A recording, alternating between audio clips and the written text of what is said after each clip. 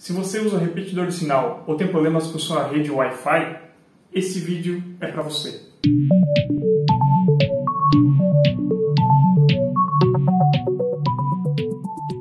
Então pessoal, é, já faz algum tempo que eu venho pesquisando, a gente aqui em casa usa repetidor de sinal. Na época foi uma solução que eu encontrei porque solucionava nossos, nossos problemas com, com a rede Wi-Fi. Se você quiser saber mais sobre esse produto, vai ter um linkzinho aqui em cima mostrando como é que funciona.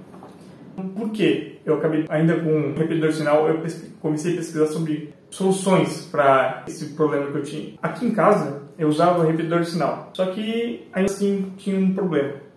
Qual era o problema? Eu estava aqui no escritório usando o celular e tal, eu ia para a sala e na sala ele ainda ficava preso na minha rede do escritório.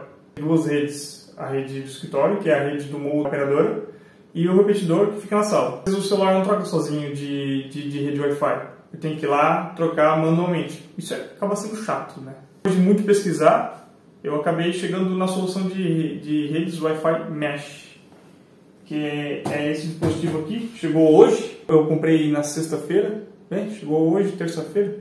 Muito bom, rapidinho, né? Entrega foi frete grátis ainda por cima e peguei uma boa promoção. Esse dispositivo eu comprei na Amazon. Aproveita aí meu link, vou deixar na descrição aí. Vamos abrir agora então.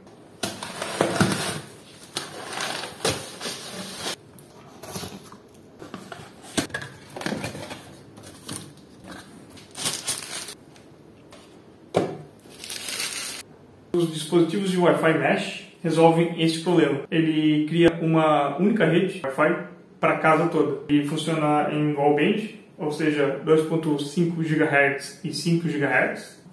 Ao contrário do repetidor, que cria várias redes, esse aqui é um, cria uma única rede para casa toda. Esse modelo da Laser ele aceita até seis dispositivos deste para ampliação do sinal. Vou mostrar para vocês como é que a gente fez a instalação aqui em casa. Bora lá! Inicialmente, a gente deixou um no escritório e o outro a gente vai instalar na cozinha. Para a instalação, na caixa vem os passos a serem seguidos. Então, na sua App Store, por exemplo, procura o nome do dispositivo, baixe, depois de baixar, abre o aplicativo, segue as instruções, a senha fica aqui embaixo do dispositivo, conecta.